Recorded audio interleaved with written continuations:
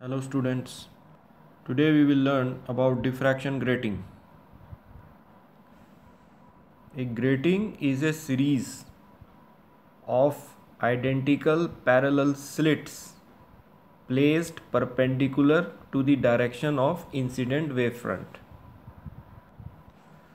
Let us consider a grating of n parallel slits, each of width a and opaque spacing b.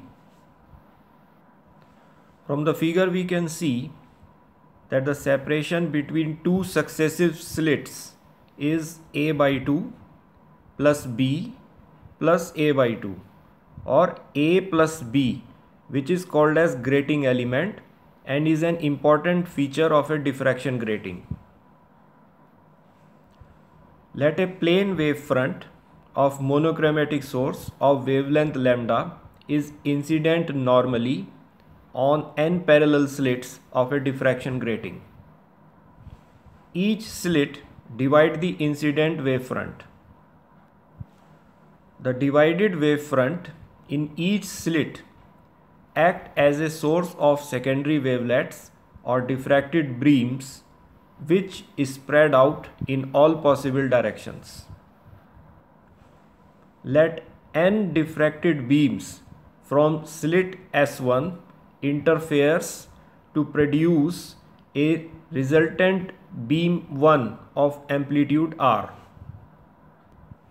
Similarly, let n diffracted beams from slit S2 interferes to produce a resultant beam 2 of amplitude r.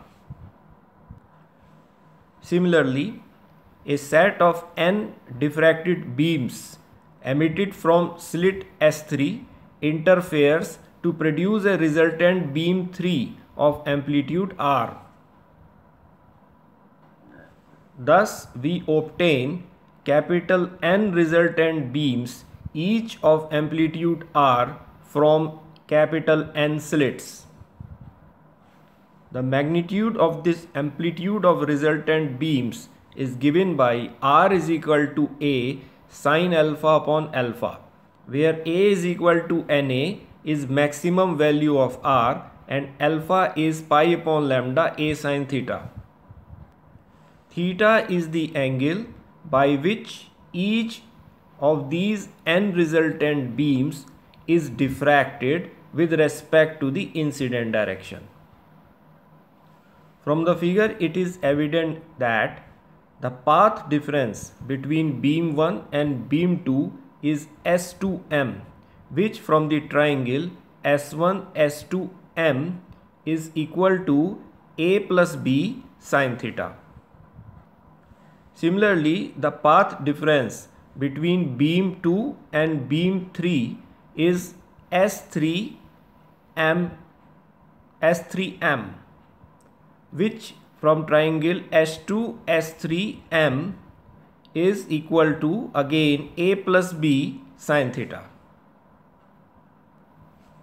Thus the path difference between any two successive beams is always equal to a plus b sine theta. Therefore, the phase difference between any two successive beams is given by delta equal to 2 pi by lambda into path difference which is delta equal to 2 pi by lambda a plus b sine theta. If we put beta equal to pi upon lambda a plus b sine theta, then we get delta equal to 2 beta. Let r dash is the amplitude of diffraction grating spectra formed in on a screen which is placed in the focal plane of a convex lens at point P. The amplitude of diffraction grating spectra at point P R dash is equal to R sine 2n beta by 2 upon sine 2 beta by 2 which becomes equal to R sine n beta upon sine beta. Since R equal to A sine alpha upon alpha, on substituting we get R dash equal to A sine alpha upon alpha sine n beta upon sine beta. Let I is the intensity of diffraction grating spectra at point P.